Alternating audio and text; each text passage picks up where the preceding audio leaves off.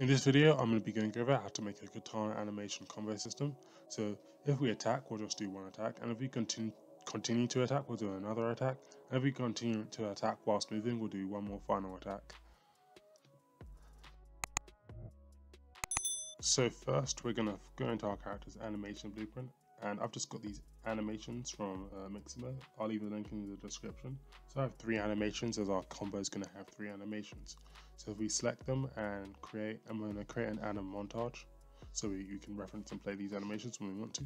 So if you click on it, we're going to add a new slot. So if you go to window, anim slot manager, and we'll add a new slot and I'll just call this upper body as we're only going to be taking the upper body part of this guy's animation. So if you just select upper body, and select that and save. And we're going to do the rest for the rest of his animation montages because we don't want what's below his legs. We only want like the top half of his body swinging.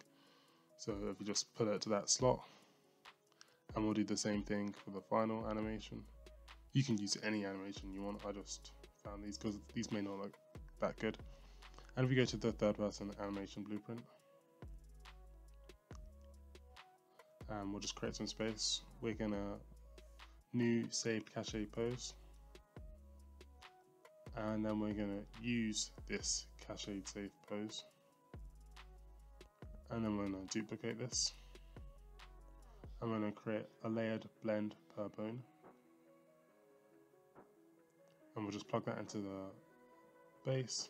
And then from this one we're going to reference the slot that we just created. So if you right click and go slot and you want to change this to the upper body slot we just created so it only plays the top half and we'll just plug this in.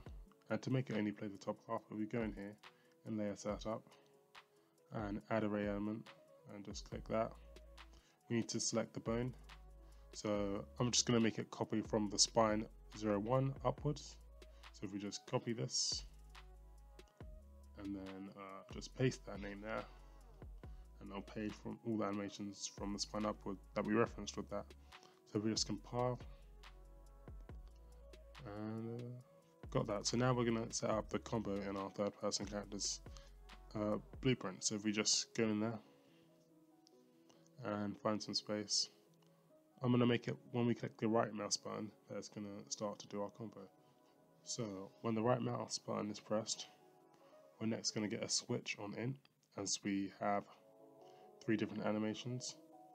And I'm just going to add three different pins for the three different animations our character will do in this combo. And we'll just plug this in. And on selection we're just going to promote this to a variable.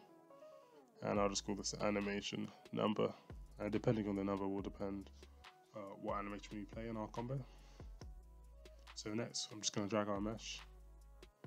And we're going to play montage.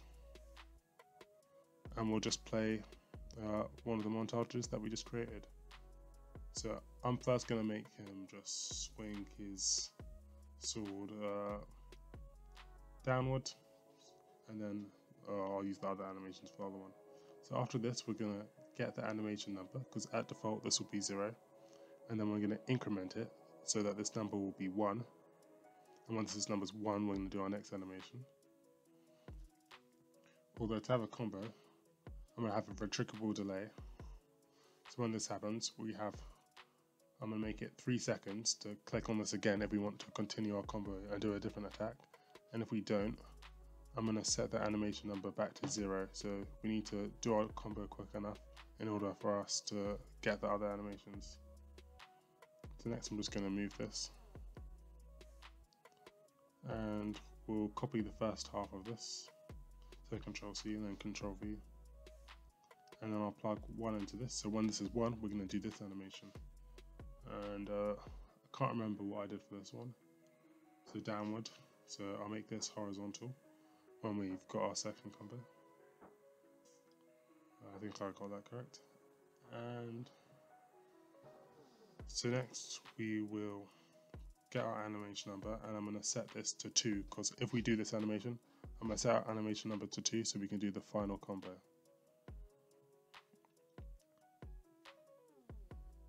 So I'm going to drag off two and this time I'm going to make it so we can only do this convert if our character is moving forward.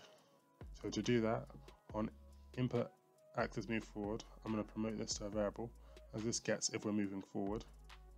And I'll just call this forward as this will tell us how far, if we're like, how much we're pressing the key. And I'll just plug this in. And if we're pressing this key, this value will be greater than 1. And if this is true, we're going to allow our player to do the third and final combo animation. So he needs to be moving forwards if he wants to do this final attack. So I'll just plug that in. And then we're just going to copy the mesh and play montage. And we'll plug this in. And I'll select the final great sword slash animation. So then um, after this we've done the final montage, I'm going to set our animation number to zero so it just resets the combo. So to make this all smooth and make it so we can't just switch our animations quickly, I'm going to make this do once, so we only do our montage once, and then we're going to have things to reset it in, so that we can play the whole of our animation through, as we don't want to play the first animation then cut it off quickly. So we're going to set that up now. So if we go into our character's animations, we're going to add some notifs so that it plays this animation and then we can move on to the next animation. Otherwise it may look a bit jerky. So I'm going to make it around this frame. And if we go down, I'm going to add in notif, notify, whoops, and I'm just going to call this reset and then we're gonna do the same for all the animations. So if we scroll down and around here I'm gonna make it reset. So new notify and make sure to name the same. And then I'll do it for this one as well. As all these animations need to have this so that we can continue our animation after we've done it. And uh, I want to make the reset here. So add notify and I add new notify and call it reset. Now I'm going to make a custom event. I'll just call this reset. And this will reset and allow us to continue doing our animation montage. So if we go to our animation blueprint, we're going to make it when we do this, do our animation, it will cause the reset. So if we cast our third person character,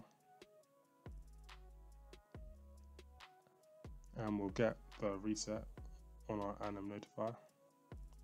And from here we'll after we cast the third person character we'll call the reset event.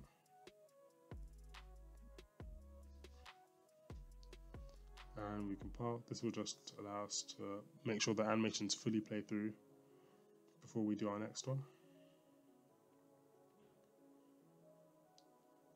So off of the false here, just to make sure that we can continue doing our montage, I'm just going to add a reset here if we're not moving forward. So just make sure everything goes back to normal. And we're almost finished, so I'm just going to set up, we're just going to set up the sword now. So if we go to our character's animation and then we go to his skeleton, what I'm going to do is click on his right hand and I'm going to add, sorry, I'm going to add a socket and I'm just going to call this socket the sword, as this is going to be where his sword or the weapon that he's holding. Yours can be any weapon or item. So I'll just call this sword, and then I'm going to add a preview asset, and I'm just going to select this katana model that um, that I found, and then you just want to scale it and make sure that it's correct and put it in your hands. This took me a while, so I'm just going to fast forward and skip here. And after this, if we go to our third person character and we add a component, add static mesh and attach this to our character, we'll just select the model that we made and then we'll just reset its location. We'll attach it to the sword that we just made to the socket and then we'll reset its location and rotation so that it's in our character's hand. But now if we click compile and play. Uh, if we right click, it does that attack, and then if we right click again, it does that attack. And if we right click, right click, and we move forward, it will do our third and combo attack. And this will reset every three seconds, so we need to do it within that time. And uh, that's all. Thanks for watching, and I'll see you next time. Bye.